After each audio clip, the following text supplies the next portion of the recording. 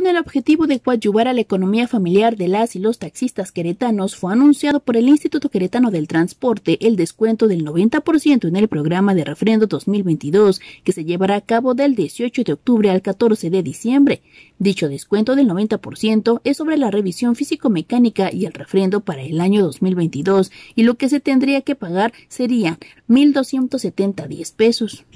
Sumado a este descuento, para este año se realizaron mejoras dentro del programa de refrendo, como un nuevo portal de trámites, creación de un expediente digital permanente del concesionario, trámite 100% digital, pago en línea con tarjetas de crédito y débito o transferencia electrónica, emisión de facturas digitales, sistema de citas para la revisión físico-mecánica, así como la emisión de constancia de refrendo digital, con la intención de agilizar los procesos y facilitar futuras diligencias recurriendo a la documentación digital que se compile durante el presente referendo.